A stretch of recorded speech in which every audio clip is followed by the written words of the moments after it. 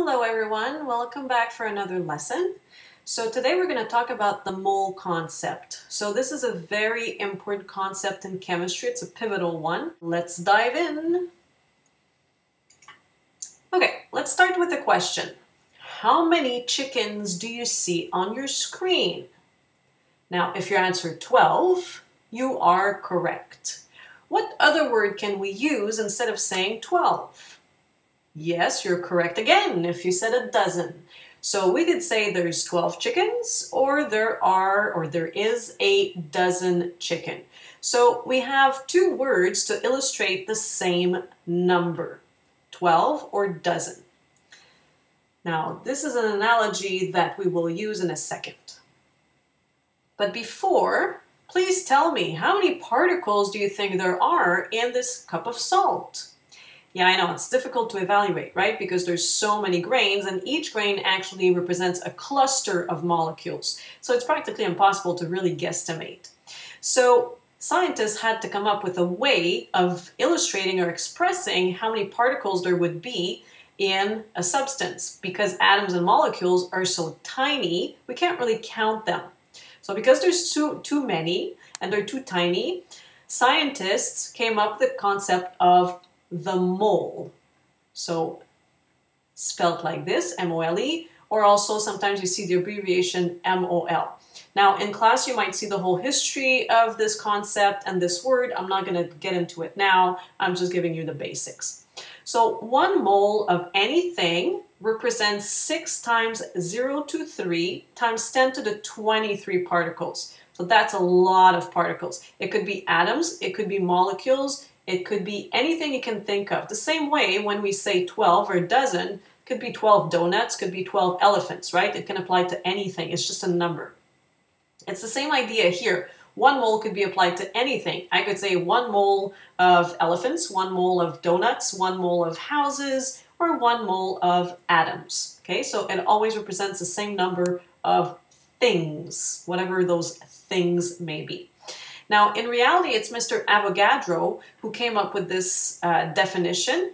Um, through experiments and calculations, he was able to find this constant, and so we named the number after him. So this is Avogadro's number, 6.023 times 10 to the 23 things, or particles, or atoms, or, mo or molecules, sorry.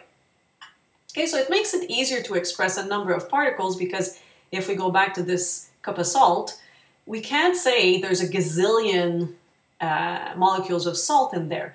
The number would be too big. So instead, we group those particles together and we call them moles. The same way, if we have three dozen chickens, we know we're going to have 36 chickens. So rather than saying 36, we'll say three dozen. Now, obviously chickens are bigger, but still you get the analogy. Okay, so one word to represent a lot of particles makes things simpler. Now, the concept of mole is used because reactions are based on the number of particles that react together and not their mass. So we're always going back to the number of particles that are present in a chemical reaction or in any given situation. So because we're talking about particles, that's why we need the concept of moles. So where do we get this actual mass for a specific substance? Well, the periodic table is going to help us with that. So in the periodic table, there is what we call the molar mass.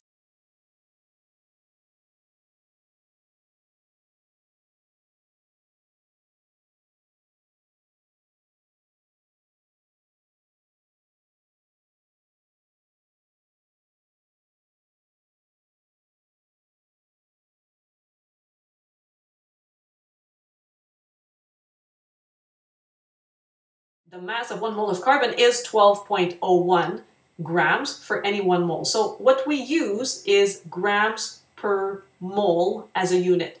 So for carbon, the mass is 12.01 grams for 6.023 times 10 to the 23 particles or one mole of particles. Okay, so all of the masses that you find in the periodic table, they all represent the mass of one mole of that type of atom. Okay, so the molar mass of calcium would be 40.08 grams for one mole or per mole. The mass of neon, the molar mass of neon, 20.18 grams per mole, and for carbon is 12.01. You might have noticed that we use the symbol capital M and we use the symbol of uh, the actual atom as a subscript to show that it's the molar mass of carbon. Here we have the molar mass of neon and we have the molar mass of calcium. Okay, so this is the way we write it in an abbreviated way. What would happen if I had several atoms bonded together in a molecule? How do I figure out the molar mass of that molecule? Well, it's easy. What we do is that we add up the molar masses. So for example, I have the molecule MgO. Well, I'll take the molar mass of magnesium, to which I will add the molar mass of oxygen, as I did over here. So the molar mass of the whole molecule put together is 40.31. In my second example, I have magnesium, but I have two times chlorine. So I have three atoms bonded together, right, in this molecule. Two chlorines, one magnesium. So what I'm going to do is take the mass of the magnesium, to which I will add two times the molar mass of chlorine. And that gives me 95.21. And then if I have something a little bit more complex like C2H4, that means I'm going to need to take two times the mass of carbon, to which I will add four times the mass of hydrogen, as per my example over here. Two times 12.01 for carbon, four times 1.01 grams per mole for hydrogen. And gives me a total of 28.06 grams per mole, so one mole of C2H4 has a mass of 28.06 grams. Okay, so that's how we work it out. Are based on the number of particles that collide together. But the tools that we use, namely the scale, that measures the mass of particles, not the number of particles. So we need a way to go back and forth between the number of particles that we have in front of us in our sample, in a given sample, and the mass of those particles. So how do I go from massing something on my scale and determining how many particles are present in that sample and therefore figuring out how much uh, output there will be to my chemical reaction? Well, there is, a, there is a, a mathematical equation, as you see here. So we have a number of moles is equal to the mass of the sample in grams divided by its molar mass in grams per mole. Okay, so I've color coded everything. So when we look at the abbreviated version with just the variables, the colors will match and it makes it vis visually easier to understand. So N is the variable, the letter that we use to represent moles. Small m is the letter or variable that we use for mass. Capital M is the variable that we use for molar mass. So N, number of moles, is equal to mass of my sample over the molar mass of that substance. If you're not comfortable with this version, you might want to rework the equation and write it like this. So the number of moles times the molar mass of the substance will give me its equivalent mass. Okay, so that's the equation, or these are the equations we might want to work with. So let's look at an example as to how we are going to apply this concept. So if the question was, how many moles of sugar do I have if I have a mass of 100 grams of C6H12O6? So C6H12O6 is the chemical formula for sugar, the sugar that you have in your kitchen.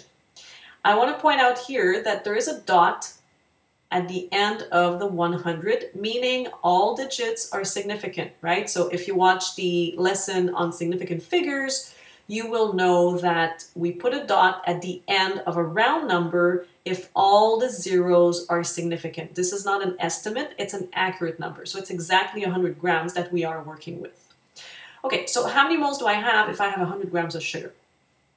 I will list my variables and I certainly invite you to list your information every time you solve a problem, even if it's a simple problem like this one with basically three variables and one step, one calculation. Because down the road, you're going to have more complex problems, and it really makes your life easier if you list your info first. Okay, so we have the mass of sugar the mass of our sample is 100 grams, right? So we have 100 grams of C6H12O6. We need the molar mass of C6H12O6, so 6 times the molar mass of carbon that we're going to find in the periodic table, plus 12 times the molar mass of hydrogen, plus 6 times the molar mass of oxygen. It comes out to 180.18 grams. So we are looking for the number of moles, number of particles, in other words, that this represents.